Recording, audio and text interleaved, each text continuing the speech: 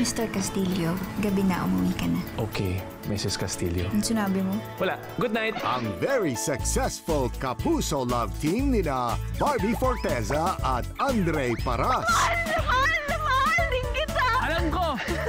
Lalo kayong pakikiligin. This time on Prime Time. Maraming maraming salamat po sa mainit na pagtanggap ninyo sa Love Team namin. Ngayong New Year po, aasahan po namin ang inyong suporta sa bago namin show. Kung saan ako po ay gaganap bilang isang PA sa buhay ng movie star na si Brian Harrison na gagampanan Mr. Andre Paras. Abangan niyo po yan sa That's My Amber. Ngayong January na po, dito lang sa GMA, Alabama.